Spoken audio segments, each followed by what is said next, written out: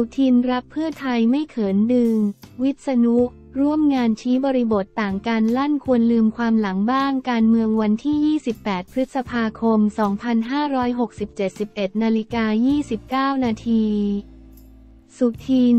รับเพื่อไทยไม่เขินดึง วิษณุ ร่วมงานชี้บริบทต่างกันเมินโพคะแนนนิยมร่วงโวเหลือ 3 ปี ปั้นความนิยมได้ลั่นรอดูผลงานกลาโหมรับรองฮือฮาเมื่อเวลา9นาฬิกา30 นาทีวันที่ 28 พฤษภาคม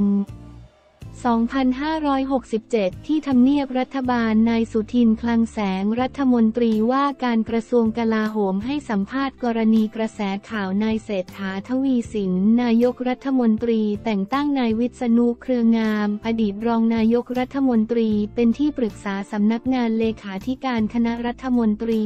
สลคว่า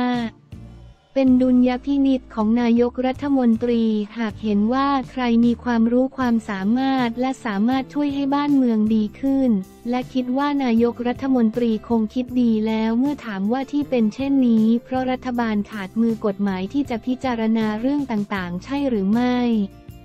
นายสุทินกล่าวว่าไม่ถึงกับขาด แต่นายกรัฐมนตรีอาจเอามาช่วยเสริม ซึ่งนายวิษณุเป็นผู้เชี่ยวชาญเฉพาะด้าน ราะนักกฎหมายของรัฐบาลก็มีแต่อาจเชี่ยวชาญคนละด้าน เมื่อถามว่าพักเพื่อไทยจะไม่รู้สึกตะขิดตะขวงใจใช่หรือไม่ เพราะที่ผ่านมาพักเพื่อไทยได้ต่อว่าการทำงานของนายวิษณุเยอะนายสุทินกล่าวว่ามันก็อาจจะเป็นบริบทแต่ละช่วงบริบทตอนนั้นก็ว่ากันอย่างนั้น แต่บรรยากาศวันนี้มันเปลี่ยนไป และที่สำคัญทางใดที่จะทำให้ประเทศเดินหน้าได้ดีที่สุดก็ไม่ควรมีเงื่อนไข ทุกคนควรลืมเรื่องความหลังบ้าง เมื่อถามว่าพักเพื่อไทยจะให้คำตอบกับแฟนคลับในเรื่องนี้ได้ใช่หรือไม่ นายสุทินกล่าวว่า เชื่อว่านายกรัฐมนตรีจะอธิบายได้ถึงเหตุผลและความจำเป็น เมื่อถามว่านายชัยธวัฒน์ตุลาธนหัวหน้าพักก้าวไกลระบุว่า ถ้ามีอุบัติเหตุกับรัฐบาล พักก้าวไกลจะไม่ขอร่วมงานกับพักเพื่อไทย นายสุทิน กล่าวว่าเป็นเรื่องของเขาเป็นจุดยืนของแต่ละคน เราต้องเคารพเขาเมื่อถามอีกว่าพักเพื่อไทยจะปิดประตูไม่เอาพักก้าวไกลด้วยหรือไม่นายสุทินกล่าวว่าสำหรับเพื่อไทยไม่เคยปิดประตูมีแต่คนอื่นที่ปิดประตู ถ้าเสียงเราเพียงพอก็เดินหน้าไป และพร้อมรับคนที่พร้อมใจจะทำงานกับเรา ส่วนคนที่ไม่พร้อมใจทำงานกับเรา ถ้าเราจะไปเอาเขามาก็ไม่มีประโยชน์ เมื่อถามว่าผลโพลพระปกเกล้าที่ออกมาที่พักเพื่อไทยตามพักก้าวไกล ทั้งในส่วนของพักและผู้นำรัฐบาล นายสุทินกล่าวว่าไม่หวั่นไหวแต่เป็นเรื่องที่ควรคำนึงแล้วเก็บมาคิดวางแผนการทำงาน ซึ่งเรามีประสบการณ์เรื่องนี้ก็แยกแยะออกว่าแต่ละช่วงอาจไม่เหมือนกัน ช่วงที่รัฐบาลทำงานใหม่ๆ บางครั้งอาจมีอะไรยังไม่เป็นชิ้นเป็นอัน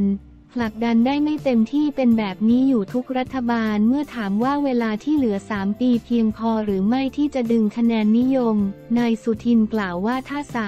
3ปีจริงเหลือเฟือเมื่อถามย้ำว่าเลือกตั้งครั้งหน้าพักเพื่อไทยจะกลับมาเป็นพักอันดับหนึ่งหรือไม่ นายสุทินกล่าวว่าถ้าพูดไปก็จะเหมือนโม แต่เราก็มั่นใจว่าด้วยเวลาที่เหลือ เราคิดว่าประชาชนคงจะกลับมาที่เรา เมื่อถามอีกว่ามั่นใจจะมีคะแนนมากกว่าครั้งที่ผ่านมาใช่หรือไม่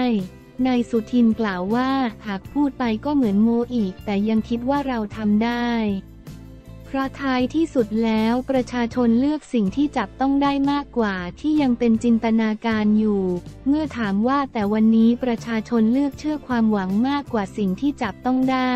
นายสุทินกล่าวว่าเดี๋ยวผลงานรัฐบาลจะจับต้องได้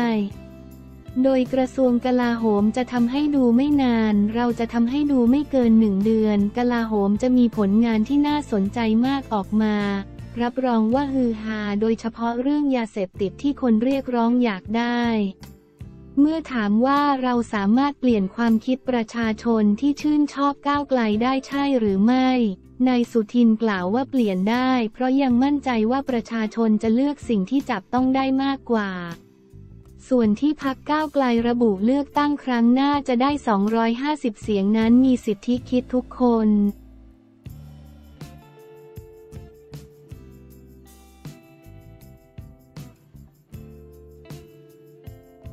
วอลเล่บอลสาวไทยเก็บแต้มอันดับโลกกี่คะแนนหลังคว้าชัยนัดแรกเนชั่นลีกกีฬาวันที่ 28 พฤษภาคม 2567 17นาฬิกา55 นาทีนักตบสาวทีมชาติไทยเก็บคะแนนเพิ่มอีก 12.7 คะแนนจากการเอาชนะโดมินิกัน 3-1 ในการแข่งขันวอลเลย์บอลเนชั่นลีกสนามที่ 2 ที่มาเก๊าซึ่งถือเป็นชัยชนะนัดแรกในเนชั่นลีกปีนี้ นักวอลเลย์บอลสาวทีมชาติไทยพ่ายมาสี่เกมรวดในสนามแรกที่บราซิล ล่าสุดนักตบสาวไทยที่กลับมาเล่นเป็นระบบสามารถเอาชนะ โดมินิกันทีมอันดับ 11 ของโลกที่ 3-1 เซตทำให้มีคะแนนเพิ่ม 12.7 คะแนนรวมเป็น 212.60 คะแนน แม้จะยังรั้งอันดับ 13 ของโลกเท่าเดิม แต่ก็ขยับเข้ามาใกล้เยอรมนีอันดับ 12 ที่มี 223.38 คะแนนมากขึ้น โดยการแข่งขันในสนามแรกนักตบสาวไทยซึ่งมีอยู่ 222 คะแนนก่อนเริ่มแข่งเสียแต้มไปรวม 22.11 คะแนนจากการพ่ายแพ้ 4 นัด แพ้สหรัฐ 1-3 เสีย 0.8 คะแนน แพ้เซอร์เบียเสีย 3.93 คะแนน แพ้แคนาดา 1-3 เสีย 3.69 คะแนน และแพ้เกาหลีใต้เสียถึง 13.69 คะแนน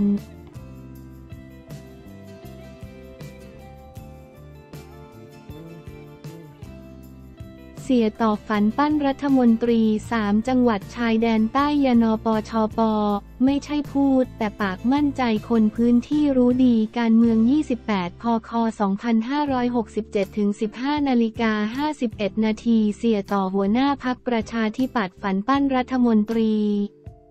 สามจังหวัดชายแดนภาคใต้ยันไม่ใช่พูด แต่ปากมั่นใจคนพื้นที่รู้ดีเรื่องปัญหา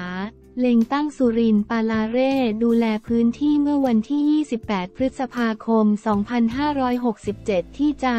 ปัตตานีนายเฉลิมชัยสีอ่อนหัวหน้าพักประชาธิปัตย์ปชปพร้อมคณะกรรมการบริหารพักและสสพักเดินทางไปยังโรงเรียนดารุณศาสตร์อำเภอสายบุรี เพื่อมอบเงินช่วยเหลือกลุ่มเปราะบางจำนวน 50 ครัวเรือน โดยมีตัวแทนสตรีกลุ่มผู้นำท้องถิ่น ตลอดจนชาวบ้านให้การต้อนรับอย่างอบอุ่น นายเฉลิมชัยกล่าวว่าตนเป็นลูกครึ่งจีนไทย มีสิ่งที่ตระกูลของตนทั้งที่เล่นการเมือง และไม่เล่นการเมืองยึดถือ คือต้องมีความกตัญญูพ่อแม่ของตนได้สอนว่าไม่ว่าจะทำอะไรอย่าเนรคุณคนอย่างเด็ดขาดทำให้สิ่งนี้ติดตัวมาตลอดไม่ว่าจะทำงานอะไรตนเคยมาขอคะแนนจากทุกท่านในวันที่ตนเป็นเลขาธิการพัก แต่วันนี้ตนต้องมาขอบคุณที่ท่านได้เพาะเมล็ดพันธุ์ที่สมบูรณ์แข็งแรง และพร้อมเติบโตเป็นต้นไม้ใหญ่ให้ความร่มเย็นกับทุกคนในวันข้างหน้า ตนเชื่อมั่นว่านายยูนายดีวาบาสอสอปัตตานี ยังเป็นอนาคตที่พักประชาธิปัตย์ฝากความหวังไว้ได้ และพักให้ความสำคัญกับพี่น้องมุสลิม เหมือนที่ให้ความสำคัญกับพี่น้องไทยพุทธ ราะเราคือคนไทยด้วยกันนายเฉลิมชัยกล่าวต่อว่า วันนี้ลงพื้นที่ทำกิจกรรมการเมืองครั้งแรกของตน หลังจากแก้ไขข้อบังคับพักไปเมื่อปลายเดือนเมษายนที่ผ่านมา คือการเปิดประตูสู่เส้นทางการเมืองของพักโดยใช้จังหวัดปัตตานีเป็นพื้นที่แห่งแรกและตนจะไปให้ครบทั้งสามจังหวัดนำพาประชาธิปัตย์ให้ทำงานอย่างเต็มที่